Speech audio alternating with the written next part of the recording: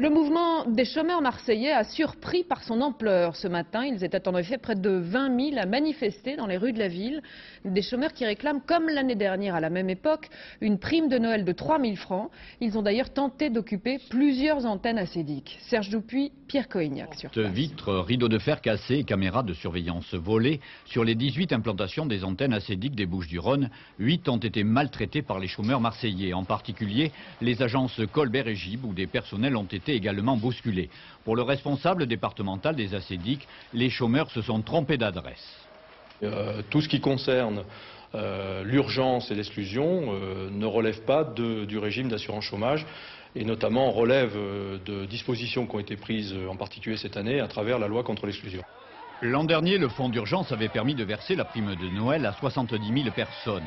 Pour obtenir la même chose cette année, cet après-midi, les chômeurs ont rempli une demande d'allocation qui devrait aboutir chez le préfet. Quand on doit payer un loyer ou quand il y a le téléphone, le loyer, l'électricité, plus nourrir les enfants. En colère, les chômeurs ont manifesté ce matin dans le centre de Marseille. Ils étaient entre 10 et 20 000 selon la police ou les syndicats.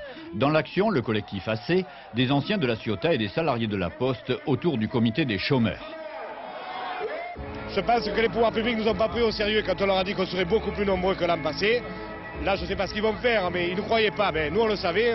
On n'est pas des fanfarons. On sait ce que les gens y passent. On sait que les gens sont dans la misère. On sait que les jeunes, ils n'ont rien pour vivre.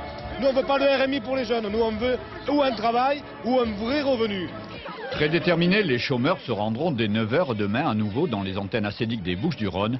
Et cela donc afin d'obtenir cette année encore et très rapidement la fameuse prime de Noël.